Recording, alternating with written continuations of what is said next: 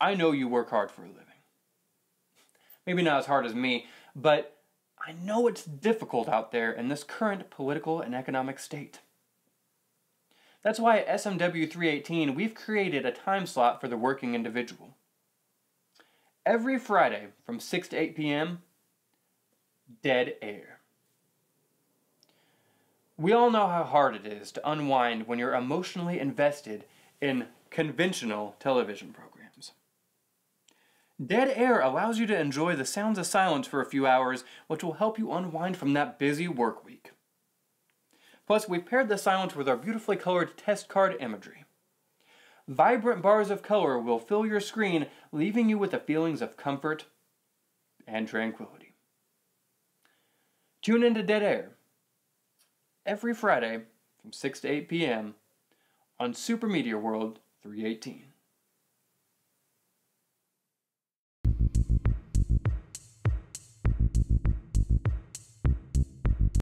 The camera rolling? The camera is rolling. Okay.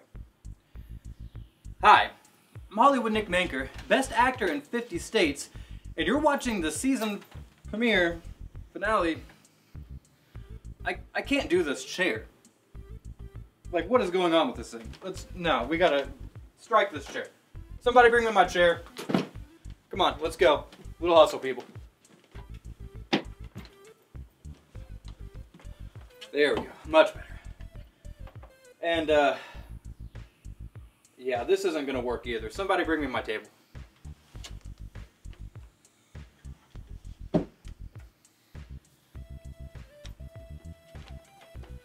All right. Oh yeah, that's perfect. Coffee? Come on, people, you know. Can't film without my coffee. Delicious. Okay, cameraman, why is the camera still on my crotch? Let's raise it up. Let's ra raise it up. What are you doing? Can you hear me?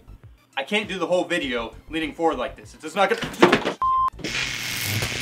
Hi, I'm Hollywood Nick Manker, Best Actor in 50 States, and you're watching the Christmas special and season finale, Nick's Video Store.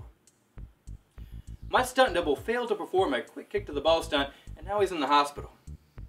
Despite what the doctors say, he'll be back to doing stunts in no time, or he'll be out on the streets. But the show must go on, and who better to take you on the cinematic journey than me, an actual movie star? It looks like you want to know about Santa with Muscles. Here's what I have to say about that movie. This film has some people in it, including Mila Kunis as some girl, Don Stark as an elf, I guess, uh, this guy, the Wrigley Stadium guy, and some other people I don't know the names of. Yeah, that's right. Just just throw those up on the screen there. Yep, all those people. And Hollywood Hulk Hogan. Oh, uh, and Pauly Shore's brother is in this too, I guess. My stunt double also had in his notes to mention that a uh, Clint Howard has a small role in this film. Oh yeah, he's one of the Three Stooges. He also asked me to mention how he got to meet Clint at a 2021 uh, nerd convention of some sort, but I'm not going to do that. Hollywood Hulk Hogan is a cool guy with great tastes, amazing fighting skills, and lots of money. Like myself, he's a man of culture and sophistication. Then some things happen, and he loses his memory and begins to think he's Santa, and he has to save some kids or something. I don't know. I sort of dozed off by this point in the movie and missed some key plot points. I'm personally offended that they asked Hollywood Hulk Hogan to be in this film, and not me, Hollywood Nick Manker. Granted, I was a younger man at the time, but I was in still much better shape than Hollywood Hulk Hogan was. This film could have went from being box office trash to straight to video gold. Rule number 27 of Hollywood Nick's rules to live by, if you're gonna hire an actor with Hollywood in the name, then Hollywood Nick is your man of fame. The adults in this movie believe that Hollywood Hulk is the real Santa, and they also let strangers spend the night at the orphanage. What a bunch of idiots. This orphanage would never survive Hollywood Nick's business rescue nightmares. Tuesdays at 8. SMW 318. This lady and old man wouldn't be able to stop Santa with muscles from going psycho crazy. A muscle-bound guy with no memory who thinks he's Santa is clearly off his rocker. The biggest plot hole in this movie is that Hollywood Hulk Hogan's main goal as Santa is to save an orphanage that houses only three measly children. The man is a rich bachelor with no sense of purpose and a child-shaped hole in his heart, so it's obvious how he could save the day. Just ship those brats off to some other orphanage. It's a no-brainer. Rule number 54 of Hollywood Nick's rules to live by, avoid children. They're just smaller, dumber adults and a huge waste of time.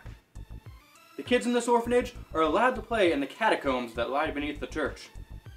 Disgusting. I'm starting to think that these kids should be sent to live somewhere else. Someplace where they can't play with corpses all day, like the nasty little heathens that they are. This movie was cheesy, sleazy, and made me queasy. But I don't know. Children are dumb, so they probably loved it. Uh, let me think. Uh, good things about this movie. Um, um, it captures the feel of the low-budget 90s children's Christmas movie. Like most of the movies that my double picks, this movie is very cartoonish, which I'm told is a good thing. The characters and scenarios are over the top, unbelievable, and ridiculous. Just like in a cartoon. My double says it really captures the holiday spirit, but personally, the sunny California setting didn't give me the warm, fuzzy Christmas feelings. Rule number 401, if you're gonna make a Christmas movie, then there better be some snow in it. That way I know it's a Christmas movie. I found the villain's germophobia humorous. I also enjoyed the techniques he used to interrogate his enemies, many of which I've dabbled in myself. This guy's whole crew were idiotic simpletons, which are great if you just want lackeys, but horrible for getting anything actually accomplished. Rule number 227, hire henchmen that have IQs between 90 and 100. Hollywood Hulk Hogan does a lot of fighting in this movie, some of which appear to be done by a stunt double. Not saying that there's anything wrong with using a stunt double, but wasn't he a professional wrestler? He was basically an overglorified stunt double already. He may as well have had another actor do his speaking roles too, I don't know, someone like maybe uh, yours truly. Then he could have done my stunts. A missed opportunity. This film has two stars from That 70s Show in it, Mila Kunis and Don Stark. No relation to Tony. This is Mila Kunis' first movie. The movie poster shows Hollywood Hulk Hogan holding two dweebs, and I don't recall seeing either of these dorks in the actual movie. It also shows him donning his famous handlebar mustache, which isn't the way that his mustache is groomed in the actual film. This is what we refer to in the business as false advertising. Santa with Muscles came out the same year as Jingle All the Way, another muscle-bound Christmas film from 1996. 1996 truly was the golden year for Hollywood. It was also the year that Mankerwood Studios was first established, which is why we've only featured films from 1996 in this season of Nick's Video Store. Bet you didn't catch that, did you? A little Easter egg. I just told it to you. So now it's not hidden anymore. Way to go. Way to miss it.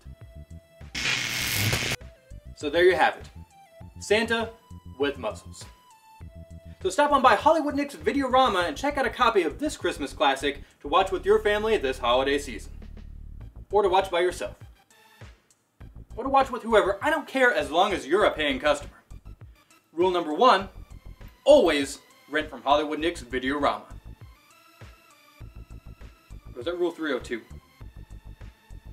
Anyway, I have more important things to get back to. So until next time, I'm Hollywood Nick Manker wishing you a Merry Christmas happy holiday, a happy new year, and a happy what else you may be celebrating this holiday season. And remember, like and subscribe to Super Media World, where Hollywood Nick is to take you out. Super Media World is running wild, brother.